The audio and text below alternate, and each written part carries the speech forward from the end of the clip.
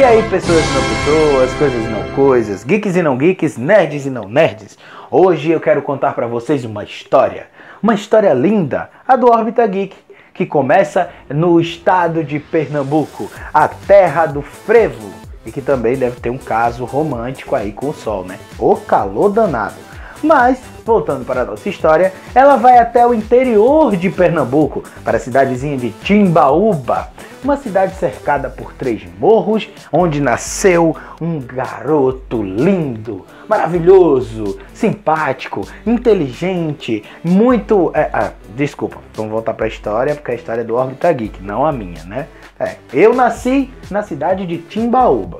Gostava muito de cinema, só que o cinema da cidade não funcionava mais. Gostava muito de quadrinhos. Só que a grana era curta e não dava para estar tá colecionando, comprando toda semana. E eu comecei a desenhar os meus próprios quadrinhos. Também passei a ser ator. Comecei a fazer teatro com o grupo da escola e conheci outros amigos e comecei a fazer peças. Só que o teatro da cidade desabou. É, Agora não tinha mais lugar para fazer teatro, não tinha mais como comprar direito revistas em quadrinhos e muito menos como assistir cinema que não fosse na televisão, aqueles filmes repetidos, tipo A Lagoa Azul, História Sem Fim e por aí vai. Então eu comecei a pensar, pensei, pensei, até que veio uma brilhante ideia na cabeça. Por que não entrar na internet e fazer tudo isso que eu gosto ali. E não é que deu certo? Arrumei um parceiro chamado Clique.com, que graças a Deus está comigo até hoje, né?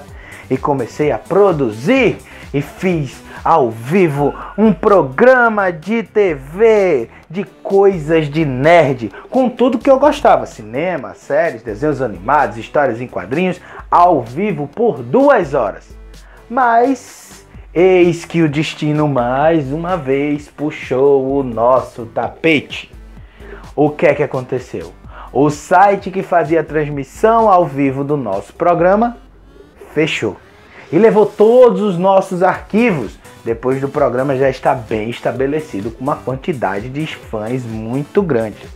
Já estava quase pensando em desistir, quando de repente um grande amigo surgiu no meu caminho. Ao fazer uma peça de teatro no Recife, conheci o meu amigo Vlad, que também tinha os mesmos interesses geeks e nerds, e me deu a maior força para continuar fazendo o Orbita Geek. E dessa vez aonde? No YouTube! E criamos o programa dentro do canal que já existia. O negócio foi dando certo e crescendo, mesmo com algumas barreiras, como por exemplo, falta de dinheiro para comprar equipamento e muitas pessoas mal intencionadas que queriam roubar ideias e atrapalhar o nosso trabalho. É, isso tem todo canto, né? Até hoje ainda tem.